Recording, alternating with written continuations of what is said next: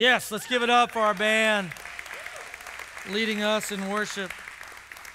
Oh, week three of Haunted. And for those of you that are guests with us, we went down to the most haunted house in America to shoot some footage for you guys to bring to life a concept of things that haunt us. And today we're going to be talking about a really easy one called the past. Many of us have a past that haunts us, we have some decisions that haunt us. We have some people that haunt us, maybe even some words that were spoken to us. And, and a lot of times there's, there's a confidence that we lack because of the way we interpret the data that has gone into our lives. And today we're going to, to watch a clip in, in just a moment.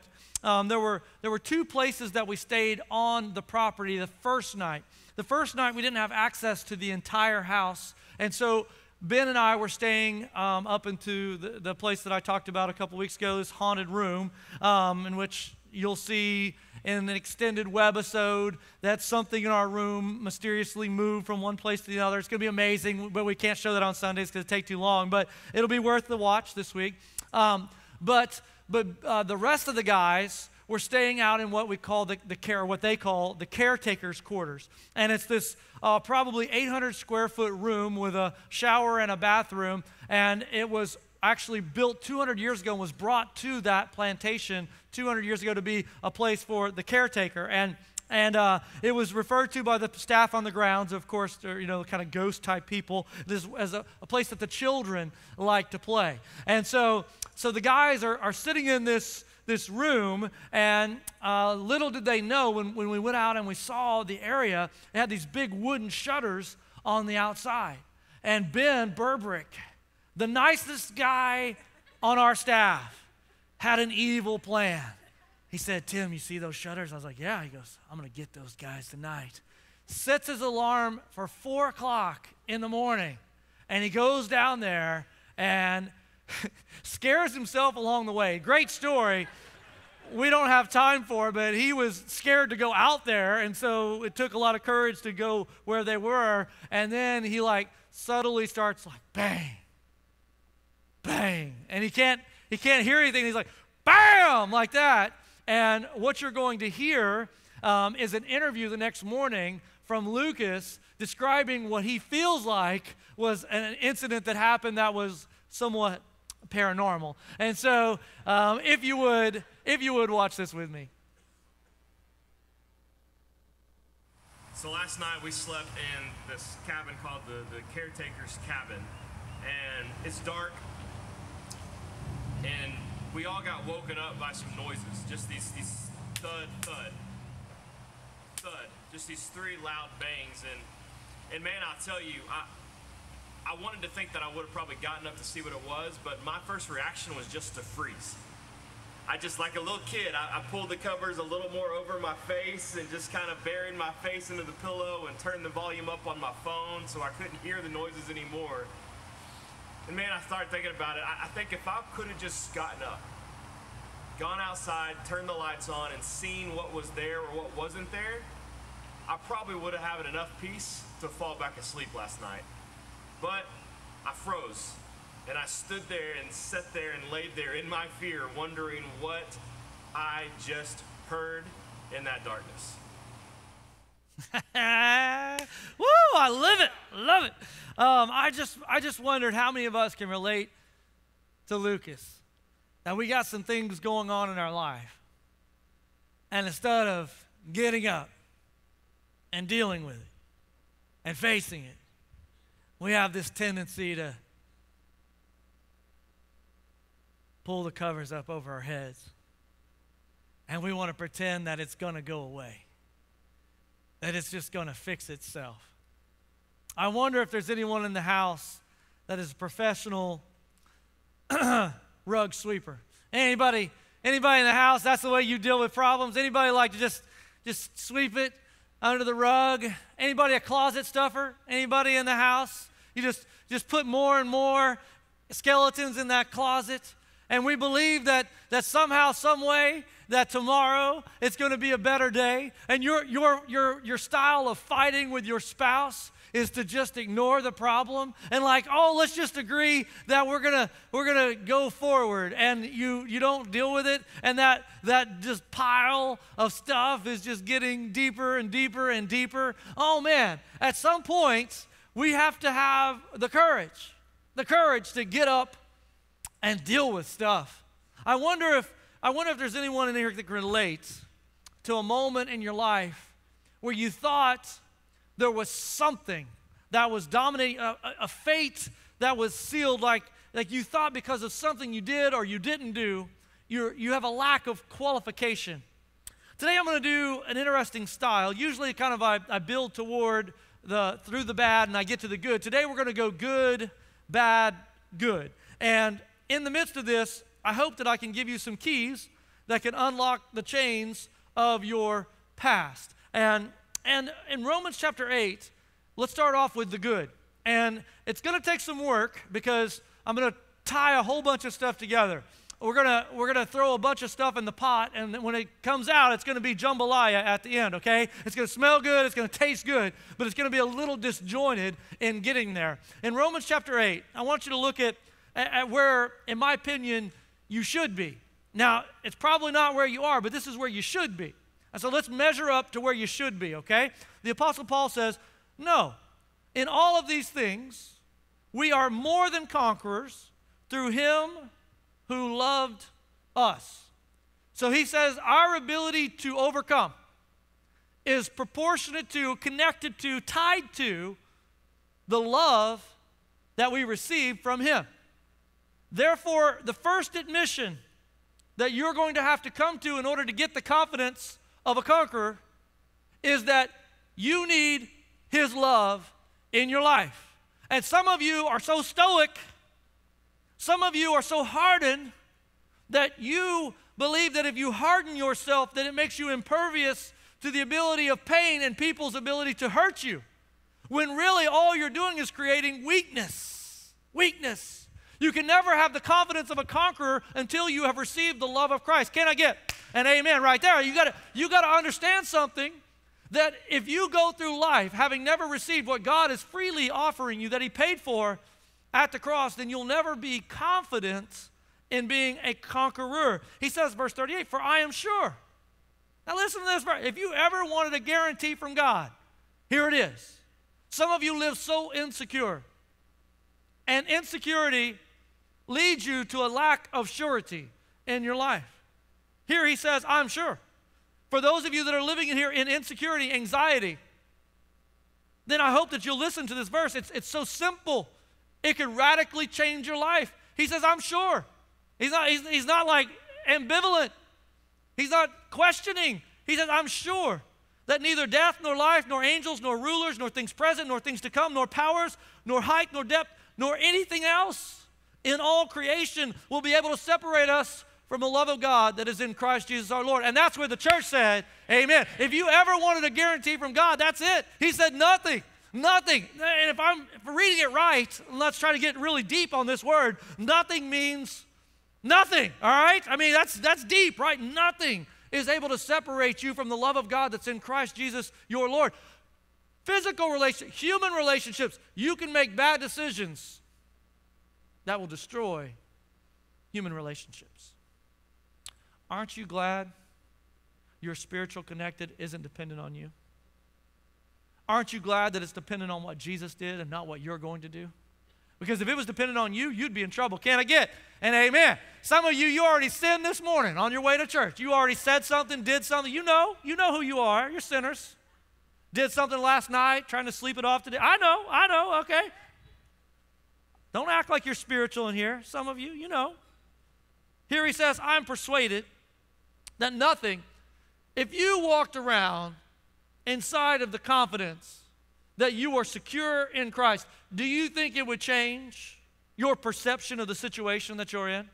Do you, do you think that you can't have confidence and be a conqueror and be insecure at the same time? They can't, they're mutually exclusive. They can't occupy the same ground. So, this morning, if you are insecure and you're filled with anxiety, then there's an answer, and it's the love of God. It's the love of God that's in Christ. And so if you would change your perspective and receive what God is willing to give to you this morning, it would, it would move you and reposition you to take on life from a different perspective. Now, watch this. This is not the message I was going to preach this week. When we planned this series, this was not in the docket, all right? So we called an audible. Last week, we opened some closets that I didn't know we were going to open. We, we, we uncovered some people living in isolation that were hurting. And so much so, one of the stories that I loved, and I'm going to tell it this morning, I can't wait, I'm excited. One of our counselors, Pastor Tommy, pastor of our life group, let's give Tommy a hand. He's doing a great job. Life groups, men's Bible studies.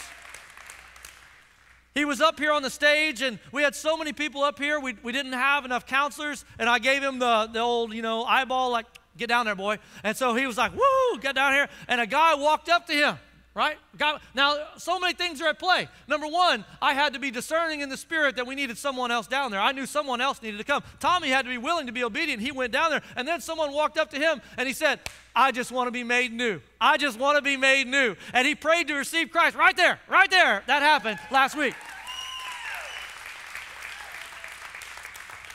He was telling me the story. I was like, man, that's the easiest close I ever heard of. I mean, I wish they were all like that. I wish everyone in here would quit being so spiritually stubborn that you would just come to the place that you agree with God that you just need to be made new. It's not, it's not that you need to change a little bit. You need to be made new. It's not that you just need to start getting faithful. You just need to start reading. You need to be made new. All right, we need a new you in order for you to not be haunted by the things of your past. And I believe, I believe if we would embrace Romans chapter 8, it would change. It would change our level of confidence. It would change our level of security. You see, and we're going to read a story today, and I'm going to, I'm going to tell you a, a lengthy story. But in Exodus 32, we're going to kind of now go down into the bad. And we're going to talk about what, what is it about our past that haunts us. And I, I'm just curious has anybody ever done something in your past that you kind of think about still today? Anybody in here got something back there? Yeah, yeah. Some of it's not too far from you. I understand. It says that when the people saw that Moses delayed to come down, Moses is up on the mountain and he's getting the law, he's, he's getting a message from God. And God's people are so stubborn, so feeble, so frail that when Moses delayed, they got insecure. And they decided that they were going to come up with their own plan. I'm just curious as we get started and we are going down this road. The plan that you are currently employing for your life, your life plan. Some of you look at me like, Tim, I don't have a plan. Trust me, that plan is a plan. The plan of nothing is going to get you nowhere. Anyway, and so, so the, the plan that you are currently operating under, let me ask you a question. Is it your plan or is it God's plan? Is it your plan or is it God's plan? Because whenever you take your life and you say, I'm going to make up my plan, you are literally playing Russian roulette. You are spinning the cylinder and you're saying, I hope it ends on God. And I'm telling you, that's a terrible way to live. Wouldn't you rather have God's plan and the security of knowing that God was going to work it out, even when it looks like it's impossible, that if He promised it's going to prevail? I'd rather have that than my own strength, my own wit, my own intellect, because I am finite and limited where He is infinite and limitless. So this morning, I want you to just ask yourself a simple question The plan for your marriage right now the plan for your profession right now, is it your plan or is it God's plan? Because when you take matters into your own hands, it is inevitable that you tend to drift. Here, the Israelites, Moses has been gone a couple of weeks, and they start freaking out. And they say, Aaron, Aaron's in charge. Aaron is is dad while dad's away. You know what I'm saying? Aaron, make us a God. Make us a God. We need a God. Now, you would think that they had a God, right? I mean, they just were fresh out of 400 years of slavery. the Red Sea parted. God followed with a pillar of cloud, a pillar of fire and a cloud during the day, and the enemy that had that had dominated them for 400 years was wiped out in a, in a one stroke of God's hand with a wall of water. I mean, you would think that they had a God. You hear what I'm saying? But there's something about us, right? That is uncomfortable with the unknown. That incomplete information for some of us makes us very insecure. Is there anyone in here that likes to have all the details before you make a decision? Let's go ahead. Let's go therapy time, okay? Okay. Yeah. Yeah. Boy, you struggle with God then. Because every person I know that followed God, He didn't give them all the details. You say, now, well, how mean is God? He knows me. Yeah, exactly. He knows you. And your details are your way of controlling. And He's trying to teach you dependence. He's trying to teach you that there's a place that you can run to for strength when you don't know how it's going to end, when you don't have the detail, when the map ends and there's a question mark, that He has an answer for that. Here, the Israelites make us a God. Aaron comes up with a plan. Terrible plan. Aaron says, Give me all your gold, all your earrings. And uh, the guys and the girls had earrings, so I guess that destroys that old, you know, thing where preachers like guys shouldn't be wearing earrings. That's for girls. Well, in the Bible they had earrings. Probably had tattoos too. Who knows? And so. I don't know why we get hung up on things that are on the outside. You know what God's concerned with? The things on the inside. So let's just get past all that trash, all right? And so, anyway, and so they, they gather the earrings and they get the gold, they put it in the fire, and Aaron forges a calf, a golden calf. Now, where did they get the idea of worshiping a cow? Anybody know? Anybody know where they got that idea? It was their past. It was Egypt. That was one of the gods in Egypt. And the moment that they got insecure, they wanted something familiar. They wanted something they could touch. They, they wanted something they could see. And isn't it interesting? Whenever we get to a place where we struggle to make sense of something, we will embrace anything. Has anybody ever known this to be true? Like whenever you're struggling, you're like, well, I just don't understand it. Then we just start reaching and we want something familiar. And oftentimes we go running back to the things of our past to try to help us in the present. And the crazy thing is, is that these things are dead. Why do we keep embracing the wrong things to lead us, to save us, to help us, to give us hope. I don't know why we do it, but I want to ask a question anyway. Has anyone in here ever embraced the wrong thing? Can I get an amen? If you've ever embraced the wrong thing, have you ever embraced the wrong person? Can I get an amen? Hallelujah. Praise Jesus. Have you ever embraced the wrong job? You ever embraced the wrong boss? Have you ever embraced the wrong friend when things were going south? Why do we keep embracing wrong things? As a matter of fact, some of you can look back to the Rolodex of the pain that's in your life and you keep committing the same sin of putting your hope in wrong things. You see, those things are dead, those things are broken. They cannot help you, they cannot speak life into you. They cannot deliver you. They cannot give you purpose. They can't renew your passion. They can't give you grace for your guilt. They can't forgive your sins. And yet there's something sick about us that goes running back to the things that are familiar whenever we get into trouble. I'm going to preach. I'm going to preach today. I want to ask you a couple of things that I found that people might go running to in their past. Has anyone in here ever grabbed a bottle? And you believe if you could dive down into the bottom of that bottle somehow, it was going to make you feel better about what you were going through. Has anyone in here ever lit a burnt offering and put something inside your lungs And it used to be one thing, but now it could be a lot of things. But I'm just saying that you thought that it would somehow cure the anxiety that you're going through. Is anyone in here ever tried to heal the pain with a pill? Oh man, we got so many pills today. There's a pill for everything. And it's legal, right? So it must be okay. Man, I, I, bet if, if half of you would just try Jesus for 60 days without the pills, you'd be surprised at what Jesus could do. I'm not saying I'm against medicine of any kind. I'm just saying you should try Jesus first. You should try Jesus first. I wonder if anyone in here has ever starved themselves trying to find some ideal shape, to try to find the approval of other people who don't even notice that you're doing it.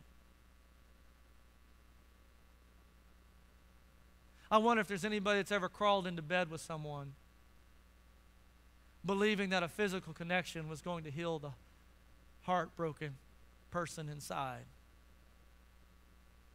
We're trying to take all these misshapen things and place them in the void of our hearts. How about my escapist? Those were the serious ones. Now I can get a little bit funny to drag y'all out of that despair. Has anybody ever thought if I could just get away for a week on a beach or a mountain, then I would just feel better about life? Anybody in here just think, man, I got to get to that vacation. Anybody, I just I just need a week away. And when you get back, guess what's waiting on you? The same problems, the same people. Some of them are your children staring at you, right?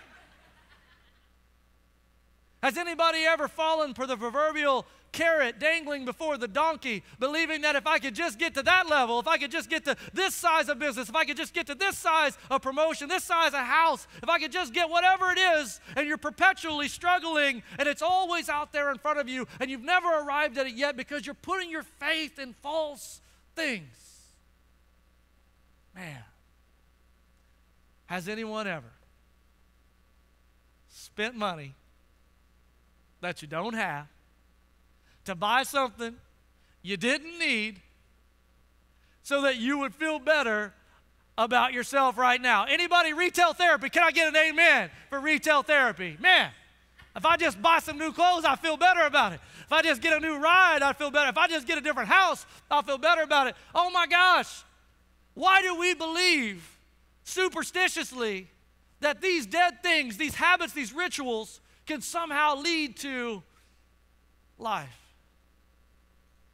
As a matter of fact, the Israelites, let's look at this verse. This, this verse, this verse kind of like jarred me. I never had seen this verse in this light. Put up verse 4.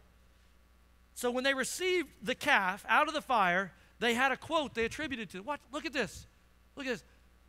The, the people that wanted the calf Aaron made it, it came out. They said to all the people, These are the gods, O Israel, that brought you out. The, have you lost your mind? I'm telling somebody here, you heard that. That sermon was for you right there. Have you lost your ever loving mind?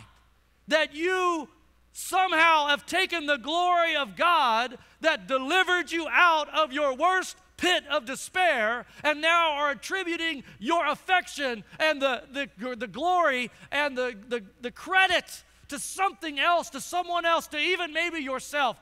Do you forget how did you get here today? If it weren't for the grace of God, you wouldn't be here. Can I get an amen? Quit giving God's glory to dead things. Quit. It blows my mind. If I were God, right? God says, to Moses. He's up there talking, with. God. he doesn't even know. He doesn't even know. These people down there, I mean, they went crazy. I can't even get to the level that they were at in here this morning in mixed company and with children. But let's just say that when it was all said and done, people didn't have any clothes on and they were running around out of breath. Okay? So so crazy things were going on while Moses was on the mountain. And he says to Moses, God says to Moses, You need to get down there because the people have lost their minds. As a matter of fact, I think we should just destroy them and start over with you. Now, Moses has already experienced the stubbornness of these people. And if I were Moses, I think I'd have been like, that's a great idea. That's a great idea. I don't like most of them. They don't listen, they don't follow. Let's just start over with me, God. I mean, Moses had the wherewithal to say, God, if you do that, then the, the world, the audience, is going to say you led your people out here just to destroy them. And God relented. Now, here's where the story gets interesting. Moses goes down and he says, Aaron, what have you done? What have you done? Aaron said, You know these people? You know, they complained. I made some, put some gold in the fire, out jumped a calf. And so he's like, he's like, he's a little bit, a little bit disingenuous with the story. And God says, Moses, you need to handle this. Moses draws a line in the sand. And he says, Who is on the Lord's side? Verse 26. Who is on the Lord's side? And the Levites gathered around him. Now, now, I know that you don't know what I'm getting ready to say. I know you don't know. The Levites as we know them looking back, were the people that ministered in the tabernacle and in the temple, those that were closest to God. But that was decided on this day. That was not their permanent faith and fate going back in the time machine. Now, this is where it's going to get a little disjointed. I need to go back in the biblical time machine to get y'all up to, to, to pace on what's happening right here. Because here's point number two crazy problems create incredible crossroads. Crazy problems create incredible crossroads. When you are having the craziest problem in your life, and somebody in the house said, Amen. When you're having the craziest problem in your life, it creates an incredible crossroad of what are you going to do. If we go back in the time machine, after Abraham had Isaac, and Isaac had Jacob. And Jacob had a brother named Esau, and Jacob tricked his brother out of his birthright. And all the women at retreat know about old Leah and Rachel. Can I get an amen from the ladies in the house? Yes, yes, yes, yes, yes. Crazy story because after uh, Jacob was tricking his brother, and, and his mom it, runs in the family, led him to trick his father, and then his uncle tricked him, and then when he had children, they sold his son into slavery. I mean, it runs in the family. Are you hearing what I'm saying? And a crazy thing happened while Joseph was gone down to Egypt. The, the Jacob's family, the Israelites, all of his 11 other children, they, they got close to this one group and, and they had a sister named Dinah. And Dinah was was raped. And Jacob, he kind of shrugged it off because it was Leah's kids. And Rachel was his first love. Man, whenever you introduce alternatives to God's plan, it creates difficulty. Anybody in a broken home say amen to difficulty with brokenness inside that? Yes. Man, it's hard to love other kids like they're your own. It's hard. It's, hard. it's not impossible. There's a place that we can go, but you're not going to find it on this earth. You can only go to the throne of heaven to find, find grace like that because God has adopted you all. He knows how to love like that. Amen. Can I get it? That's good. And so here is Jacob and Dinah is raped and he, he doesn't he doesn't want to deal with it. And so he shrugs it off because he knows that if he deals with it, it's going to lead to war. And he's a little uncertain of what the outcome is going to be. So Dinah had two brothers, Simeon and Levi. And they said, okay, okay, we'll take matters into our own hands. They said, you can make this right in their culture, if you married the person, which I know, archaic, crazy, don't get hung up on that point for right now. If you marry her, it redeems her. So they said to all of the Hittites that you all have to be circumcised as grown men. You're going to find the sense of humor in this. and then we'll let you marry into the family. So they waited until all the men were feeling the effects of a grown man circumcision. I will let all the guys be uncomfortable at this juncture. This is the Bible, folks. It doesn't get any rawer than this. I'm just preaching what it says, okay? It says they waited until they were sore, and then they went in and they cut them all down. Killed them all. Killed, you raped our sister? Killed every last one of them. Jacob now has to leave the country they're in because he knows that the other people are going to want war with them because they're going to think they're trying to kill everybody. On the way to their next stop, his wife, the love of his life, Rachel, doesn't make it. She dies. And wrapped up in all this pain and suffering, Jacob's kids, he's frustrated with them because they're just like Jacob. You see what I'm saying? Do you ever get frustrated with you and your children? Can I get an amen? When you see what they do, you see you, and you it's like it drives you crazy because they're just like you.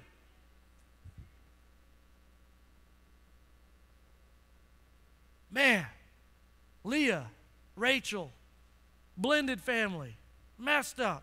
Can I just tell all the guys in here, one woman is enough for you. You don't need two. Can I get an amen? Can I get an amen from the brothers in the house? One woman is enough. You can't handle two. You can't. You can't. Here is, is Jacob now at the end of his life. They've gone down to Egypt. They've been reunited with Joseph. And it comes to the end, and he's on his deathbed, sick unto death, getting ready to die. And all the children come before him for their blessing, all 12 children. And it says, when he got to Simeon and Levi, instead of blessing them, he cursed them. If you're taking notes, read it Genesis 49. He cursed them. He said, You want to know what your inheritance is? Nothing. You cut down those men with malice and evil in your heart, and your reward for your anger and for your violence is nothing. For 400 years, they were in Egypt. The Levites, the Naphtalites, Dan, all the tribes. And the Levites were under a curse. When they get to this moment now, fast forwarding in time, they've crossed the Red Sea, and now they've built a golden calf. God has said, Moses, go deal with it. Moses draws a line in the sand and he says, I just want to know one question Who is on the Lord's side? And you would have thought that Joseph's people would have come running up, or Judah, the line of Jesus, would have come running and getting in line, or Benjamin, who all the kings were going to come from Benjamin's line. You would have think that would have, but here come the Levites. Are you hearing what I'm saying today? The Levites line up around Moses. And Moses says, Kill everyone who is against God, whether it is your family, whether it's your brother, whether it's your son, anybody that is rebelling against God, this is God's word, this is God's will, take them out. And the Levites go to work. And it says in the last verse, watch this. It says, Today, today, watch this, verse 29, today you have been ordained for the service of the Lord. Today. So, what you did today changed something in your past. Now, here, here, oh my gosh, this is going to get good now. Crazy problems create incredible crossroads. Are you going to surrender to following in your earthly father's footsteps and all of his proclivities? and all the things that he did that he shouldn't have done. And now that you're getting old enough, you're starting to see yourself and your father, and you're seeing, you see your father in yourself, and your mother in yourself, and the things that they did wrong, you are slowly following in their footsteps. When they got divorced, you're moving toward the edge. Maybe you've already been through the first divorce, and now you're headed toward the second, and, and you begin to feel in your life that you are cursed. You see, if you were a Levite, your dad and your granddad and your great granddad were all cursed by their earthly father? Nothing. And now, out of this crazy problem of rebellion, there's a crossroads, an opportunity to make a decision that is going to be a generational change. The ability to break a curse that had bound them for 400 years. And so, the question I want to ask you are you the result of chance or choice? Are you the result of chance or choice? Some of you believe that you are the way you are because that's the way your parents were, that's the way your granddad was. And when you look in your life, you see broken home, and so you repeat the process because you say, That's just in my DNA. That's the way my dad did. He ran around on my mom, and so I guess I'm just doomed to run around on my wife. And we follow in our earthly father's footsteps. And, and some of you believe something that someone said about you a long time ago. They cursed you, they spoke of what you couldn't be and those words echo in your brain. It doesn't matter what anybody else says, you still hear their voice. Do you think that could haunt anybody this morning?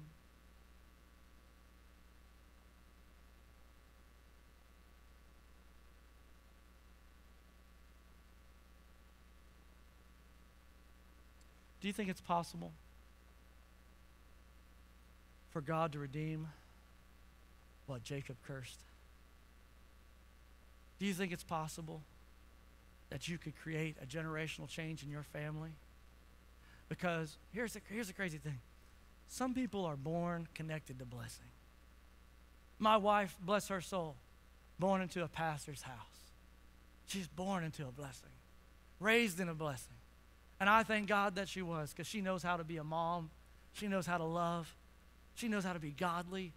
I didn't have to teach her any of that.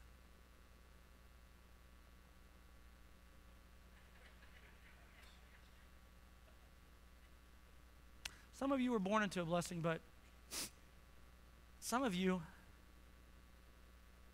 you were born under a curse. Some of you had to fight to obtain the blessing that you have. Some of you never had the Father to show you. Some of you never had the dad to show you how to be the husband show you how to shave, teach you how to be a man that stands up and takes responsibility for himself, teaches you the value of taking care of your stuff versus just treating everything like trash. Some of you never had the dad that walked you down the aisle, so you had to get someone else to stand in his stead. Some of you looked at other children and you yearned for that family life because you never knew what that was like.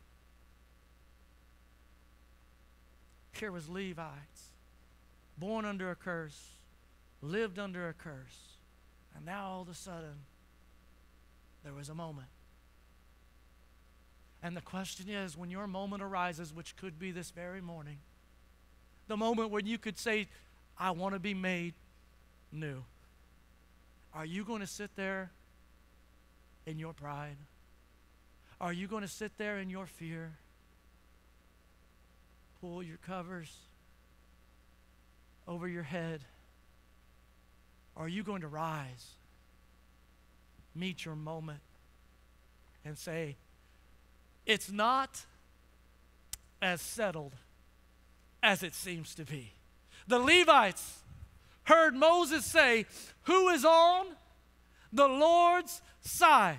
And though I was born under a curse, in this moment I have a chance to change my fate. And they say, We are on the Lord's side. And they took up a sword and they were willing to fight to obtain a blessing that they weren't born under. And they were able to change their fate. They went from the worst to the people that were the worship leaders of the Israelites, the closest to the presence of God. You see, some of you believe it's chance. It's all the things that you didn't have or all the things that happened to you that have led you to this moment, and you've surrendered your fate.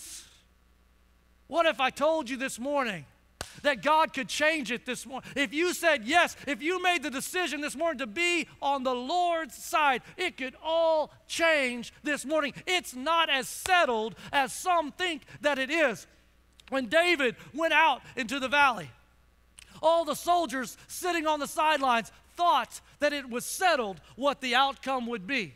When Daniel was thrown into the lion's den, all the critics thought that it was settled on what the outcome would be. When Shadrach, Meshach, and Abednego were thrown into the fiery furnace, all of the people that had trumped up the charges against them thought that it was settled what the outcome would be. When Jesus met the woman in John chapter 4, the Samaritan woman, and she had been married five times. And the relationship that she was in at that juncture was with someone else's husband. Everybody in her community thought that it was settled what she was. Oh, but Jesus. Oh, but Jesus stepped in. You see, some of you are haunted by your past, but we could change it. We could change it this morning. I think about the crossroads. It's not as settled as some think that it is. I'm pretty sure when the Roman soldiers beat my Jesus and whipped him and mocked him and crowned him with a crown of thorns and led him up to a place called Calvary and drove three hands into his feet and hands. I'm pretty sure when they put the spear in his side and all of his blood spilled on the ground, and when they took his lifeless body down from the cross, I'm pretty sure that they thought the outcome was settled. But I'm so glad that there was a third day. The first day and the second day, the disciples were just like the Israelites. They said, We're going to go back to our past. Peter said, I'm going back to fishing. But then on the third day, Jesus got up by his own power. It says he folded the clothes in the tomb. Are you kidding me? How awesome and cool is Jesus? He's like, I'm not even in a hurry. I've been waiting on this for eternity. He's like, Oh, some of you want a husband more like Jesus. He's folding it up and he puts it right there. And then rolls the stone back and he walks out in and of his own power. It's not as settled as some think that it is. If he can overcome death, what is your problem? If you are walking in insecurity, if you are uncomfortable with the unknown, I return to where I began.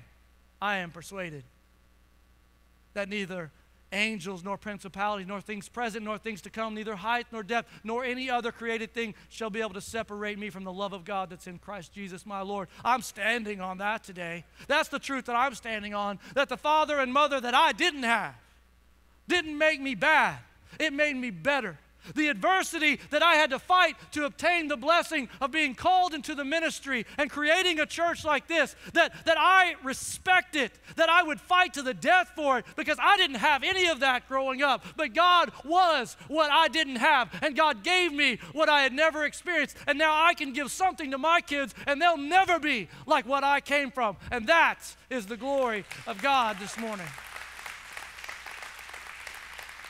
That's your choice.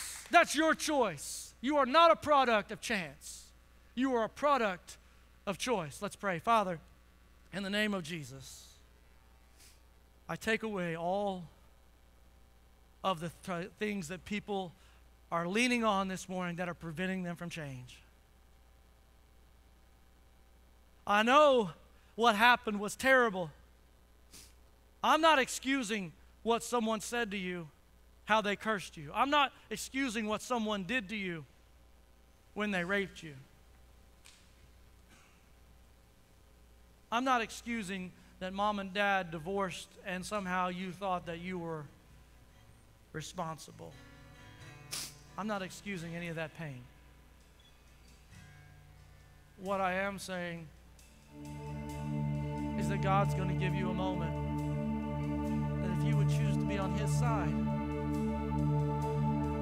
can take it and transform it and use it as a testimony of His glory. It's your choice this morning. It's your, your marriage is your choice. Your love is your choice. Your forgiveness is your choice. How it's going to be for your marriage in the future. Listen to me, all the young people in the house. If you would decide today to sow godly decisions, you could break the curse that's in your family. They never have to feel what you felt. But you got to make that decision now. It's not a decision you make when you grow up, it's a decision that you make today. For all the people that are walking toward the end of a relationship, I pray in the name of Jesus that you would get over yourself, that you would run to the cross, and you would say, God, I need you to make it new.